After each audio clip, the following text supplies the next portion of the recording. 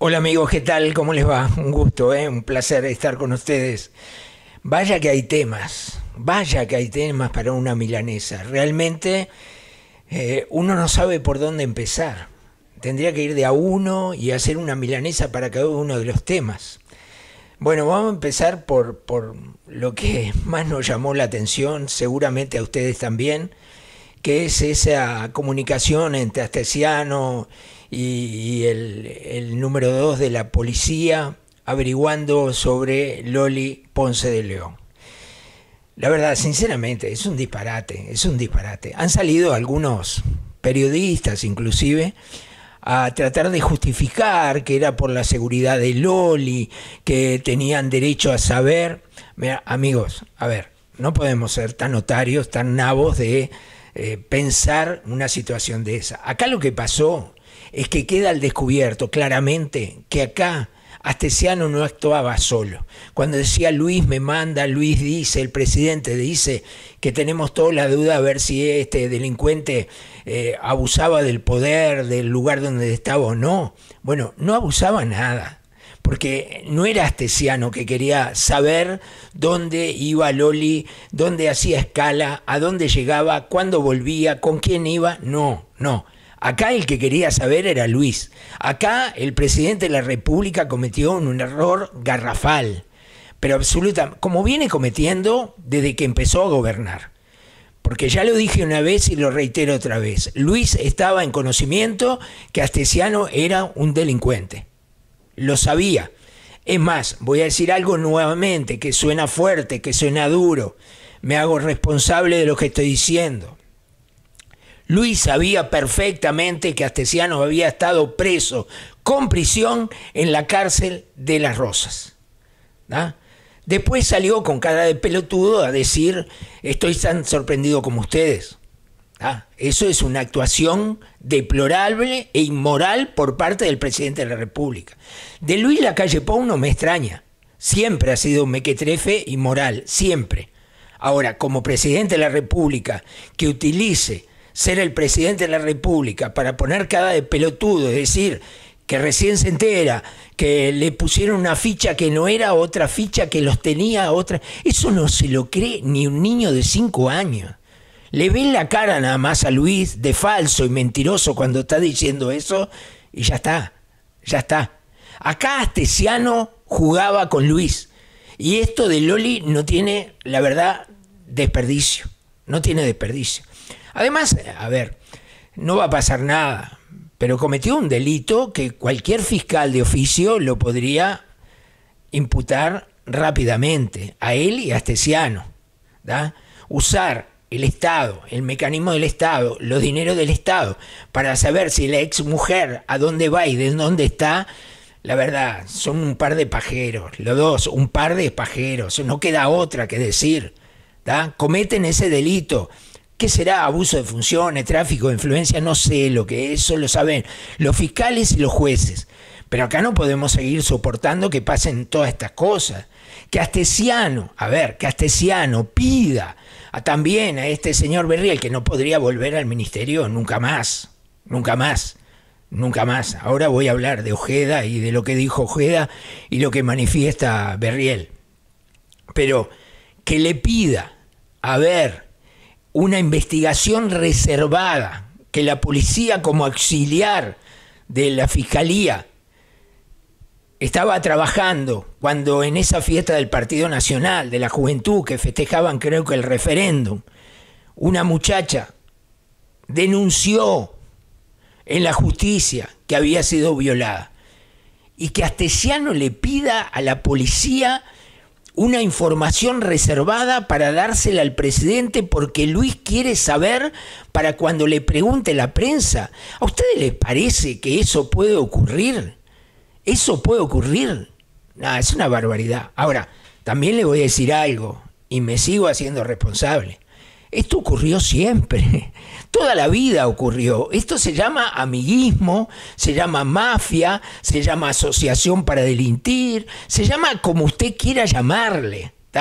Pero siempre el poder de todos los gobiernos utilizaron el, el poder para esto, justamente para movilizar todo, para conseguir cosas que nadie consigue, para darle trabajo a alguien y quitarle trabajo a otro. Siempre lo hicieron. Y nosotros, desde el Bocón, yo personalmente, lo denuncié toda la vida. 27 años antes que le vengo diciendo que los políticos son los responsables de lo que está pasando en el Uruguay. De, cómo está viviendo como la mierda tanta gente acá en el Uruguay. ¿O ustedes creen que cuando Astesiano fue preso en la cárcel de las Rosas, antes no le pidió a Luis que lo ayude? Claro, era un diputado, no podía. ¿O ustedes creen que José Reyes, de la embajada, ahora ministro de Comercio puesto por Luis Aprepo, a pesar de tener antecedentes por contrabando, no le pidió a Luis que le ayude cuando en la aduana de Río Branco lo agarraron con un bagallo enorme que terminó siendo procesado y condenado por el delito? Claro que sí. Todo esto se mueve así. El que no tiene padrino muere infiel. O no es una frase que hemos repetido toda la vida. Y lo queremos cambiar. ¿Cómo lo cambiamos? Y sacando del culo a los corruptos. Sacando del culo a los corruptos. No queda otra terminar con esto del amiguismo y esto de que cada uno consigue cosas si tiene alguien que se las consiga o pasar por arriba de uno, pasar por arriba de otro, o si es de izquierda o es de derecha. ¿Ustedes creen que en el Ministerio de Interior no hay de izquierda y de derecha? ¿O ustedes no creen que el Frente Amplio acomodó un bagallo de gente en el Ministerio de Interior? Sí. Ahora, pedir también por el accidente que tuvo Penades en la inmobiliaria, interbalnearia kilómetro 75, preguntar a ver si habían hecho alcoholemia, si había cámaras que filmaron el choque. ¿Para qué? Para ayudar a Penades. ¿O ustedes quieren para qué era? Inmediatamente. Como seguramente pasó también cuando la, la, ministra ahora fallecida, Daisy Tourné, ayudó a la ex ministra de Salud y de Educación cuando tuvo el accidente en la inmobiliaria. ¿Ustedes creen que no la ayudaron? ¿Ustedes creen que fue todo cristalino? ¿Que la ministra del Interior fuera al accidente ese día, esa hora? ¿Que era casualidad? ¿Pasaba por ahí? Vamos, mi amigo, todos sabemos que es amiguismo, que acá el que tiene el poder lo usa de esta manera y es ilegal, es inmoral, es una cagada grande como una casa. Entonces, no se puede permitir esto, que esto siga así que esto ocurra. Ahora bien, voy a lo, del abogado Ojeda. Lo decía hoy en la radio, yo lo aprecio, lo conocí, un día nos presentamos en un estudio de televisión.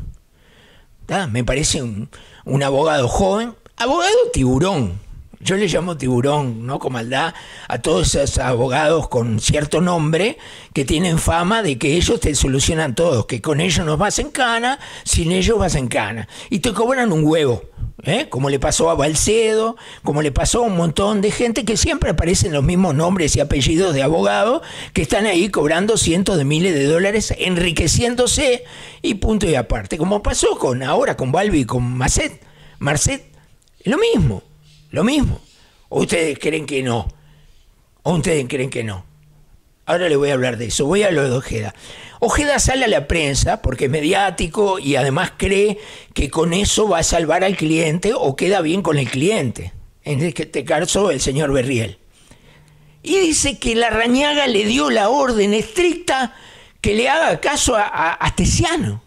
Falso. Eso es una mentira grande como una casa. Lo que hizo la Rañaga fue la formalidad de presentar a Astesiano porque era el nuevo jefe de seguridad del presidente de la República. ¿Ustedes creen que por un instante la Rañaga le dijo, cuando este señor Astesiano le pida algo, haga de cuenta que se lo pidió el ministro? Nada, para, para, Ojeda, para, Ojeda. Yo sé que esos abogados que tenés que defenderlo, ese es un buen argumento para defender a, tu cliente. Pero no me rompa los huevos, para un poco, viejo, para, para, no se pases de vivo. Porque vas a encontrar uno más vivo que vos un día. Ya lo dijo Calabria que no fue así. Ya lo dijo. Lo dijo Santiago González, no fue así. Fue una formalidad, claro. Santiago González ni, ni Calabria se pueden tirar contra eso que dijiste brutalmente, pero lo dijeron claro. Fue una formalidad. Además yo te voy a decir algo, le voy a decir a todos algo. La Rañaga, acá mismo, acá mismo, ahí, en esa silla que está ahí atrás de la cámara, recibió de mi parte los antecedentes de Antesiano. Sabía que era un delincuente. De ninguna manera le iba a dar la potestad y el poder a Antesiano en el Ministerio del Interior. Sabía que era un delincuente. Se lo llevó a la, a la callito. Y la calle mismo lo dice en un video. Sí, la rañaga me trajo. Y dice que le trajo y no estaban los antecedentes. Estaban los antecedentes. Porque yo mismo le di la ficha con los antecedentes a la rañaga. Mienten, mienten. Y un presidente que miente, un presidente que utiliza el Estado para perseguir a su ex mujer, para saber lo que está haciendo su ex mujer, merece un juicio político. Ahora, a mí me decían, algunos de izquierda me decían, no, no, que vamos a pedir un juicio político si no están los votos. No, viejo, el juicio político no se pide si están o no están los votos. El juicio político se pide si crees realmente que hay elementos como para pedir un juicio político. Después, si no están los votos, es secundario. Pero tenés que pedir, o solo vas a pedir cuando hay un acuerdo. No, Acá el presidente de la República, Luis Lacalle Pou, hizo todos los méritos y tiene todos los argumentos como para pedir un juicio político, por el simple hecho de tener un delincuente al lado de él a sabiendas que era un delincuente. Punto, nada más. Punto. No nos olvidemos de muchas cosas que se hablaron, ¿eh? No nos olvidemos cuando Beatriz Argimón le habló a Cristino, que también estuvo acá haciendo una nota conmigo y contó todo, ¿eh? Y le habló del dealer de Luis, de que escuchamos todos los mensajes, de lo que te puede pasar, tranquilízate, una amenaza, la amenazó, para que no joda más, no rompa más los huevos. ¿No? ¿Y qué reclamaba Cristino? Reclamaba que el hijo de Beatriz Argimón le devuelva la plata que le había robado. Eso es lo que dijo él. Y la vicepresidenta de la República, en aquel momento, solo con ese audio, tenía que haber habido un juicio político hacia ella, que explicara quién era el dealer de Luis. Como alguien le lleva drogas al presidente de la República. Eso es lo que dejó entrever la vicepresidenta de la República, clarito. Lo dijo con todas las letras. Lo amenazó con todas las letras.